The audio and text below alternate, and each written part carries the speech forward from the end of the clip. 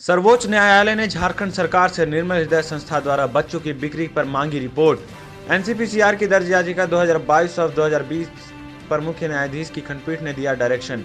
झारखंड की राजधानी रांची के निर्मल हृदय संस्था द्वारा बच्चों को बेचने के मामले पर सर्वोच्च न्यायालय ने रिपोर्ट मांगी है। मुख्य न्यायाधीश अरविंद बोबड़े, न्यायमूर्ति बी आर गवई और जस्टिस सूर्यकांत की पीठ ने रिट पिटीशन सिविल 222 ऑफ़ 2020 की सुनवाई करते हुए यह आदेश दिया है। राष्ट्रीय बाल अधिकार संरक्षण आयोग की ओर से दायर याचिका में बच्चों की बिक्री को लेकर झारखंड सरकार, मुख्य सचिव और अन्य को वादी बनाया गया था। इसमें अरुणाचल प्रदेश के मुख्य सचिव को भी पार्टी बनाया गया था। मामले की सुनवाई के क्रम में अदालत ने अबोध बच्चों की बिक्री को संवेदनशील मामला बताया है।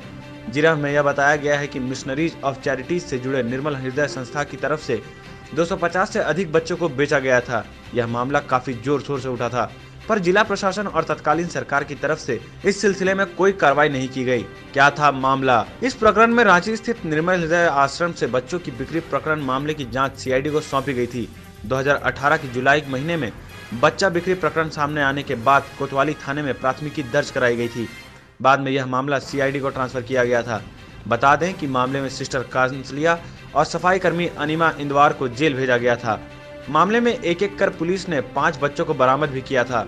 सीडब्ल्यूसी अध्यक्ष ने दर्ज कराई थी एफआईआर बच्चे की बिक्री का मामला सामने आने के बाद सीडब्ल्यूसी अध्यक्ष रूपा कुमारी ने बीते तीन जुलाई 2018 को कोतवाली थाना स्थित एएचटीयू थाना में एफआईआर दर्ज कराई थी।